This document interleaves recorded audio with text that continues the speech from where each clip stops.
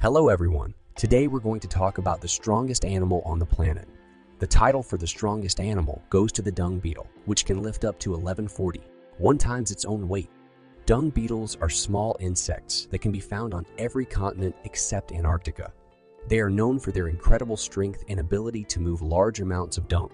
Their strength comes from their unique body structure, which allows them to efficiently use their muscles and leverage to move heavy objects. While there are many strong animals in the world, the dung beetle is the clear winner when it comes to raw strength. It's truly amazing to think about the power and abilities of these tiny creatures. Thanks for watching and we'll see you in the next video.